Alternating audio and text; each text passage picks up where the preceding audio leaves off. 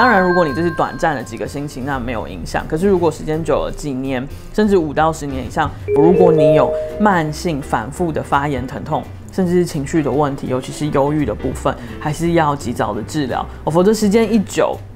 我们的大脑产生神经性的发炎或者是一些神经性的质变的时候，哦，那就有可能会进阶的影响到我们的专注记忆跟思考理解力。下一题，这个我要帮天下所有正在被公主病干扰的人哦，痛一下就痛，慢一下也痛，嗯，黛玉的样子就是这些慢性疼痛，原来跟脑雾有一点关系，是我们忽略的嘛？对，尤其是呃，大家也很会很难想象说啊，我身体周边的疼痛啊，比如说我只是这个关节发炎疼痛，甚至是头痛，那我真的。这个东西就会影响到我的大脑的功能吗？哦，那其实现在科学研究也发现非常的清楚，说这是相关的哦。因为其实我们身体各处甚至是周边产生的重复性、反复性的发炎跟疼痛，当然如果你这是短暂的几个星期，那没有影响。可是如果时间久了，几年甚至五到十年以上，比如说你有反复的偏头痛的问题，可是你都没有好好治疗哦，那就发现说不但是这个疼痛的问题，包括反复的情绪问题、忧郁哦，这种我们以为主观性的感受，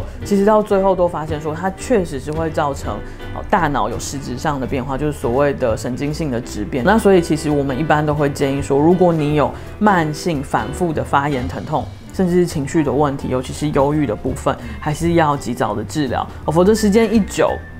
我们的大脑产生神经性的发炎或者是一些神经性的质变的时候，那就有可能会进阶的影响到我们的专注记忆跟思考理解力。嗯，很多人痛手，他们唯一下意识第一件事就是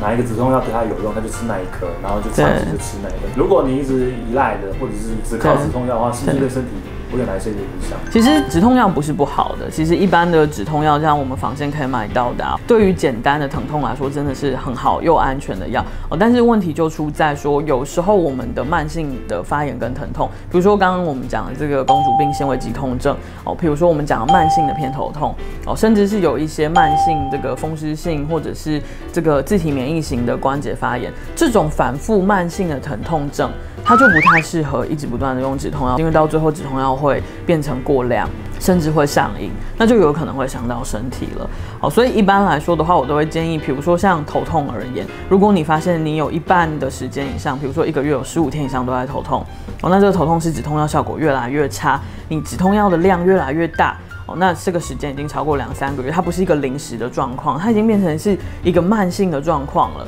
哦，那这个时候可能就要考虑请求医生、医护的帮忙。哦，那就做一些些神经疼痛活性的调理等等。哦，那这个时候我们治疗疼痛就不是只有用疼痛的药。哦，那这样的好处是我们把疼痛及早的治疗的时候，我们大脑的功能也能够确保下来，包括专注记忆跟思考力。嗯。